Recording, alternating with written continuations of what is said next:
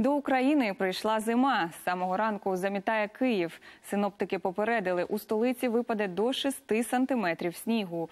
На багатьох ділянках уже чатують комунальники. Снігоприбиральна техніка виїхала на дороги. Таку ж погоду очікують у центральних і північних регіонах. Водіїв просять утриматися від поїздок через чисельні затори та велику кількість ДТП. А в Укравтодорі створили гарячу лінію.